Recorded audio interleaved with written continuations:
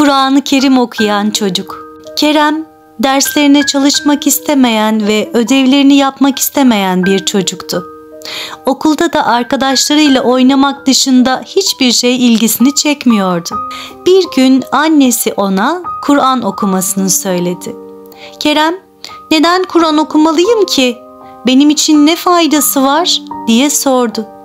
Annesi, "Kur'an Allah'ın kelamıdır. Bize doğru yolu gösterir, hayatımızı güzelleştirir, ahirette de sevap kazandırır." dedi. Kerem Peki Kur'an'da ne anlatıyor diye merak etti. Annesi Kur'an'da pek çok şey anlatılıyor. Mesela peygamberlerin hayatları, mucizeleri, Allah'ın yarattığı güzellikler, cennet ve cehennem, iyilik ve kötülük, ibadet ve dua, sabır ve şükür dedi. Kerem, hepsi çok ilginç geliyor. Kur'an'ı nasıl okuyabilirim diye sordu.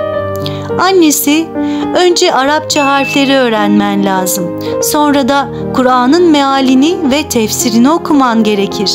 Böylece Kur'an'ın anlamını ve mesajını daha iyi kavrayabilirsin, dedi.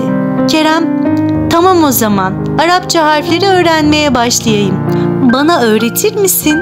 Annesi, tabii ki seve seve öğretirim. Hadi gel, beraber oturalım, dedi.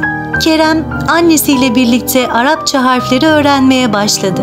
Kur'an okumayı öğrendikçe derslerine de daha çok çalışmaya ve ödevlerini de daha iyi yapmaya başladı.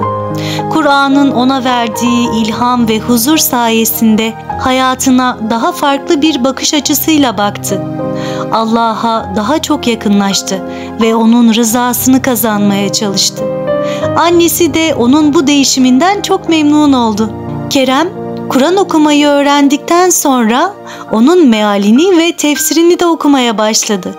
Kur'an'ın anlattığı peygamberlerin hayatlarına, mucizelerine, sabır ve şükür örneklerine hayran kaldı. Onlar gibi olmak istedi. Annesi ona, eğer peygamberler gibi olmak istiyorsan onların sünnetlerine uymalısın. Namaz kılmak, oruç tutmak, zekat vermek, hacca gitmek gibi ibadetleri yapmalısın. Ayrıca insanlara iyilik yapmalı, doğru sözlü olmalı, adaletli, merhametli, cömert, affedici olmalı, tevazu sahibi olmalı, kanaatkar olmalı, güvenilir, saygılı, şefkatli, mütevazı olmalısın.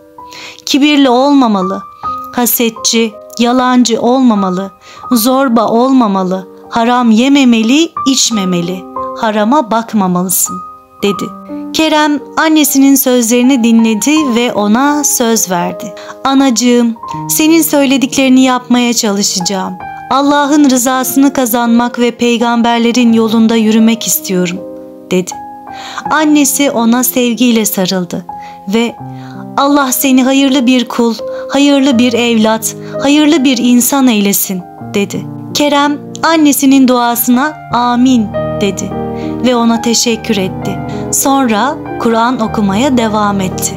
Allah cümlemize onun sevdiği gibi kullar olmayı nasip etsin inşallah.